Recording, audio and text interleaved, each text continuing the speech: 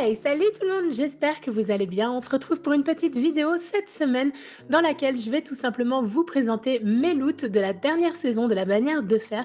Donc c'est pas dans mes habitudes, d'habitude je suis pas une accro au PVP, mais je sais pas pourquoi cette saison de la bannière de fer je l'ai plutôt bien appréciée, à tel point même que j'ai monté tous mes personnages rang 5, donc je suis plutôt fière de moi, je crois que j'avais jamais fait ça par le passé.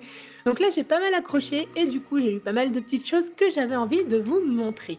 Donc c'est parti, on commence avec donc je vais commencer avec le premier loot, la coiffe du compagnon de fer. Donc que j'ai eu en 307, mais je crois que j'en ai eu pas mal d'autres euh, au cours de cette bannière que j'ai démantelée. Donc gain d'intelligence, de discipline, vous obtenez de l'énergie de super lorsque vous faites des frags à la grenade et lorsque vous réanimez des joueurs. Et enfin, vous obtenez l'énergie de mêlée supplémentaire lorsque vous ramassez un orbe de lumière. Donc je l'ai eu en 307 et ce que j'apprécie particulièrement sur ce stuff, c'est tout simplement la petite pointe qu'il y a sur le devant du casque aux couleurs de la bannière de fer bien évidemment. Ensuite j'ai obtenu le brassard du bois au loup en 280 donc je l'ai looté à la fin d'une partie donc qui me permet d'avoir un gain de discipline ou de force d'augmenter la vitesse d'amélioration des fusils éclaireurs et des fusils à pompe, et enfin d'augmenter mes gains d'estime de l'épreuve. Donc un brassard plutôt sympa pour l'arcaniste avec le signe des loups de la bannière de fer qui flotte au vent. J'aime beaucoup ce brassard, je l'ai trouvé plutôt sympa. Et dans la foulée, j'ai obtenu aussi le brassard de Camelot de fer, donc j'ai eu les deux. Donc celui-ci en jaune avec le logo de la bannière.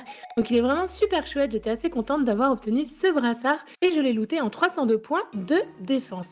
Du coup, on peut passer au loot suivant, la hachette de Donc le fusil automatique de la bannière, donc avec les perks que vous pouvez retrouver lorsque vous l'achetez directement chez Saladin. Alors je l'ai looté pas mal de fois, je l'ai looté en 285, mais vous allez voir après que je l'ai looté encore sur d'autres personnages. Alors encore une fois, la coiffe du compagnon de fer, cette fois-ci en 312, et je crois que j'en ai démantelé un autre d'ailleurs.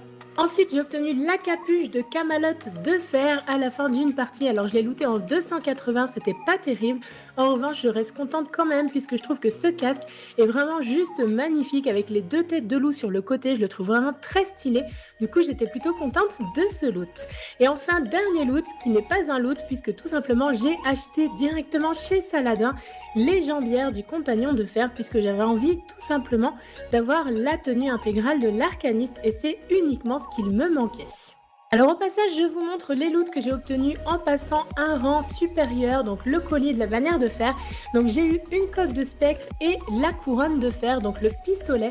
Malheureusement, c'est le seul opening que j'ai pensé à filmer. Pour les autres personnages, j'aurais pas d'opening à vous montrer, c'est bien dommage, sachant qu'on débloque un colis, rang 3 et rang 5 si je me trompe pas, donc malheureusement c'est le seul que je pourrais vous montrer. Donc j'ai obtenu le pistolet en 317 points d'attaque, donc là je suis plutôt contente, j'avais vraiment envie de l'avoir et du coup voilà c'est chose faite. Donc la petite particularité de ce gun c'est que j'aime énormément la tête de loup sur le canon, il est vraiment très chouette. Et côté perk on est plutôt axé sur la rapidité, rapidité au rechargement, rapidité à dégainer, mais aussi une arme qui vous permet d'être plus efficace en longue portée et qui possède également les perks munitions de gros calibre et chargeur d'appoint pour augmenter la taille du chargeur. Et donc on arrive au dernier loot pour l'arcaniste, il s'agit du spectre de la bannière de fer, donc la coque de fer que j'ai looté encore une fois, je l'ai eu pas mal de fois sur cette saison, en 310 de défense. Du coup on va pouvoir passer au chasseur, donc mon chasseur qui est monté rang 5 également sur cette dernière bannière de fer. Donc j'ai obtenu une coque de spectre, celle-ci en 318, j'étais plutôt fière, donc j'en ai obtenu deux en 318 au total durant cette bannière de fer, donc j'étais plutôt contente. Ensuite j'ai obtenu le masque du compagnon de fer en 295 points de défense, donc un masque plutôt sympa pour le chasseur que je trouvais assez stylé. Donc côté perk on retrouve les gains de discipline, de force, le gain de super lorsque vous tuez des sbires des ténèbres à l'arme lourde et également lorsque vous réanimez d'autres joueurs. Les boucliers qui commencent à se régénérer quand vous ramassez un orbe, donc un casque plutôt sympa, notamment pour le PVP. Du coup, sur ce personnage, j'ai obtenu également la hachette de Aakon. Je l'ai eu en 305 cette fois-ci. Donc fusil auto que j'aime énormément, que je vous ai présenté précédemment pour l'arcaniste et que je trouve ma foi relativement efficace. Donc comme ça sur le dossier il a l'air d'avoir un impact plutôt faible mais il s'est révélé très intéressant à jouer au cours de cette bannière de fer. En tout cas moi j'ai vraiment apprécié jouer avec cette arme. J'ai obtenu également une coque de fer donc encore un spectre en 310 celui-ci et j'ai obtenu les bottes du compagnon de fer, mais je les ai eues en 280. J'étais quand même contente puisque je trouvais qu'elles avaient un très joli skin, donc je les ai gardées. Et enfin, on passe au Titan, troisième et dernier personnage. Donc là, j'ai eu beaucoup moins de chance sur le Titan, j'y ai beaucoup moins joué. Faute également au problème de PSN qu'il y a eu hier soir. Donc j'ai pu finir ce personnage assez tardivement et j'ai eu très peu de temps pour y jouer. Donc une coque en 318 et aussi une coque en 317. Donc j'ai quand même pas mal de chance au niveau du spectre, j'en ai eu deux de haut niveau. J'ai acheté avec ce personnage le riposte de Dedris. J'avais vraiment envie d'avoir ce fusil à pompe avant de terminer la bannière de fer, histoire de pouvoir voir ce que ça donne un petit peu plus tard.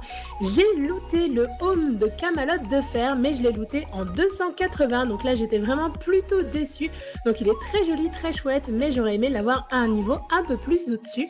Et enfin, je me suis acheté également le casque du compagnon de fer. Donc j'avais vraiment envie d'étoffer un peu le stuff du titan et j'avais envie, avec les derniers écus qu'il me restait, d'acquérir un casque de titan supplémentaire et c'est maintenant chose faite.